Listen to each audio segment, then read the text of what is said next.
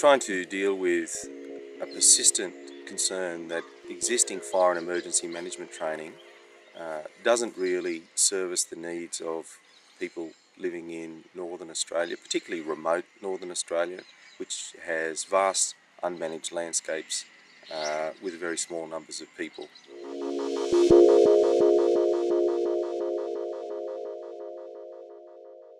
We want to develop skills, knowledge, uh, so that people have the confidence and the competence to be able to manage vast landscapes, particularly for fire, but also to be available to deal with preparation and response to the wide range of emergencies uh, and natural disasters that uh, occur in Northern Australia.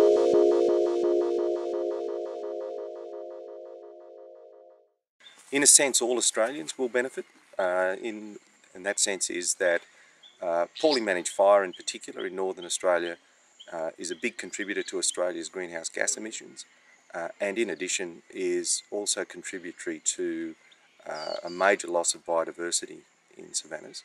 So, but in, in, a, in the local sense, uh, communities will have better managed landscapes.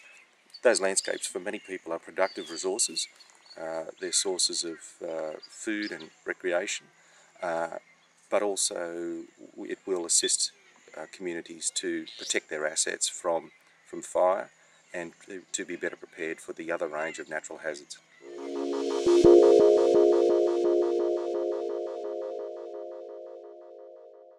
Well, it's a training program, so uh, we're hoping to train, you know, you know, a few thousand people over the next couple of years, uh, and uh, that training will then have direct benefit to communities, to ranger groups, to uh, emergency service organisations uh, located in remote communities.